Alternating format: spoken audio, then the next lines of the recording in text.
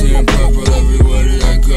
It's not the smoke, it's the feeling when it swallowed you whole. But heaven knows, only a few that really get it. I regret asking these questions at the thought of even mentioning anything to do with it. I'm a screw loose, thoughtless, lucid and abusing anything that's